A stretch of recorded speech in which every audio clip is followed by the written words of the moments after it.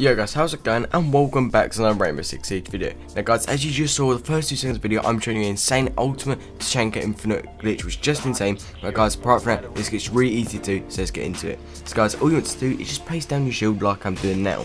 And after you've done that, go far away where you can get the pickup sign. And obviously you want to pick up, well as you go to pick up and you're about to touch it, press RB to get your turret out.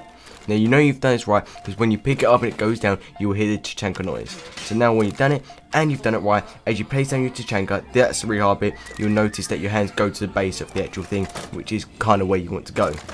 Now guys, you can see here, I've got one turret, I've always got one turret down at the same time, just to show I've got unlimited turrets. And once again, after you've done the first turret, just keep on doing it over and over again. It's really that simple and easy to do.